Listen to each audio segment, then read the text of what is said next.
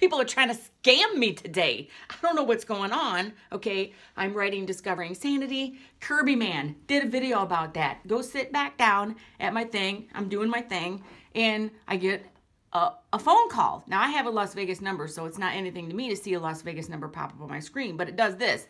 Bloop! Disappears. Bloop! Disappears. And I'm like, I ain't got time for this shit. Leave a voicemail.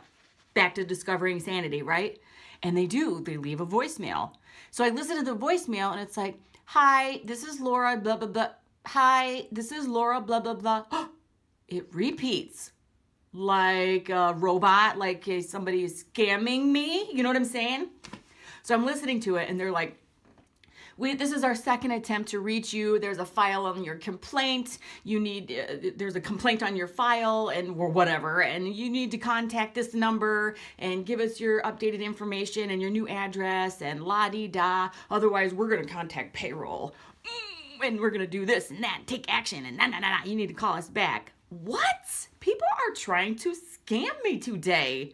Mr. Kirby Man, Miss Laura, I'm not falling for it. You can't come in. I'm not going to give you my information. So this is my public service announcement.